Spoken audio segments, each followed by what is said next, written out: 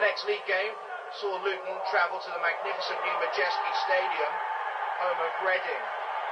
And amid the celebrations, the Royals took the lead. It was a disappointing day for the Hatters. Dwight Marshall, during the match, managed to pull a hamstring, and Paul McLaren suffered ligament damage. It was a real celebration in Berkshire. A magnificent crowd of 18,108